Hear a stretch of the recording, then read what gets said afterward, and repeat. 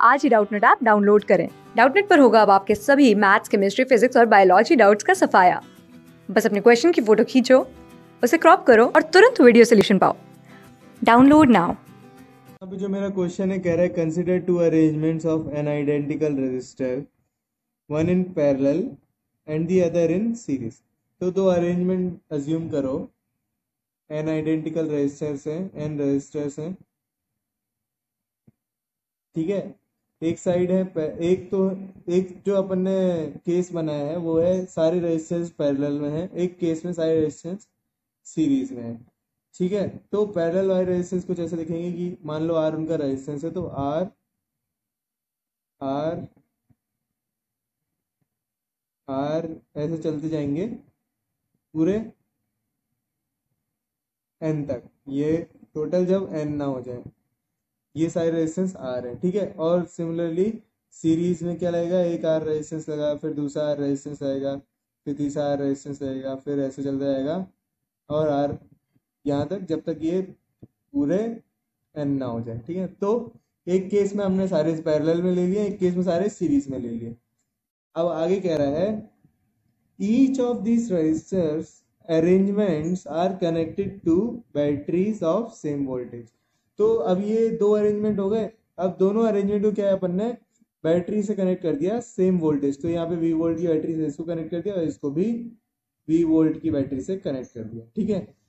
अब आगे कह रहा था ratio of power dissipated in the parallel arrangement to the series arrangement is तो अब पूछ रहा है कि इस वाले केस में जो पावर डिसिपेटेड होगी पीपी मान लेते हैं, और इस वाले केस में पावर डिसिपेशन पीएस मान लेते हैं तो अपन से पूछ रहा है P P by P S क्या होगा? ठीक है, ये हमको फाइंड करना है। है ना?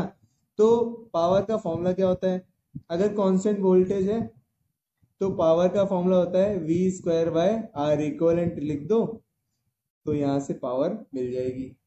तो दोनों के लिए केसेस में हम आर इक्वलेंट फाइंड कर लेते हैं। तो ये जब पैरेलल में है तो पैरेलल में आर इक्वलेंट का फॉर्मूला क्या होता है? वन बाय आर इक्वलेंट क्या होता है? One by R one plus one by R one क्या है? R plus one by R two R two क्या है R plus one by R three R three क्या है आर ऐसे चलता जाएगा एन तक।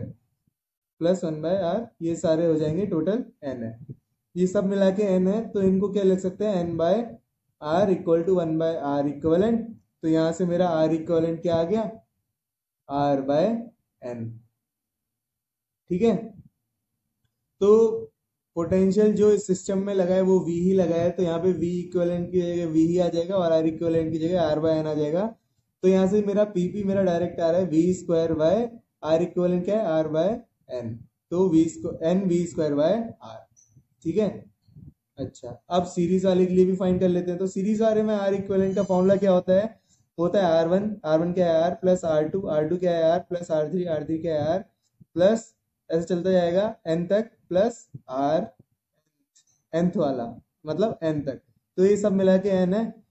तो जब एन एन बार आर को ऐड करेंगे तो आर इक्वलेंट क्या आ जाएगा?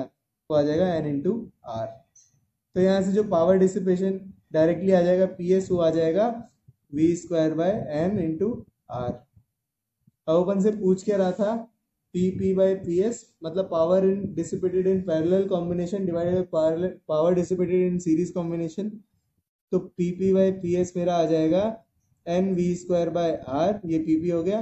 डिवाइडेड बाई पी एस तो पी एस वाला नीचे से डिवाइड कर देते हैं इनटू कर देते हैं वन बाय डिवाइड करके, है ना? मतलब पी एस डिवाइड में तो इंटू वन बाय कर देते हैं। तो यहाँ पे V square into N into R ऐसे। ठीक है? तो वी स्क्वायर से वी स्क्वायर कैंसिल यहाँ पे आर छोटा था, यहाँ पे आर छोटा वाला था। ये आर क्योंकि एन बार आर को ऐड किया तो यहाँ पे एन आर आ जाएगा, यहाँ पे, और आर से आर कैंसिल तो यहाँ पे जो P P by P S जो आ रहा है, मेरा क्या आ रहा है? एन स्क्वायर के बराबर. तो ये मेरा आंसर आ जाएगा. तो आंसर मेरा क्या आ रहा है? आंसर मेरा आ रहा है एन स्क्वायर के बराबर आ रहा है मेरा आंसर ठीक है? क्लास सिक्स से ट्वेल्थ से लेके NEET I I T JEE Mains और एडवांस के लेवल तक. दस मिलियन से ज़्यादा स्टूडेंट्स का भरोसा.